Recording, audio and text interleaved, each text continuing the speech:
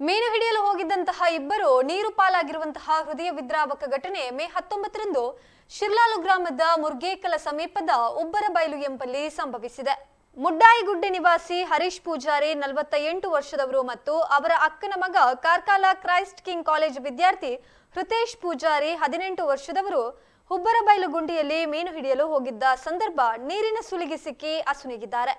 ಘಟನಾ ಸ್ಥಳಕ್ಕೆ ಅಜಯ್ ಕಾರು ಪೊಲೀಸರು ಭೇಟಿ ನೀಡಿ ಪರಿಶೀಲನೆಯನ್ನು ಕೂಡ ನಡೆಸಿದ್ದಾರೆ.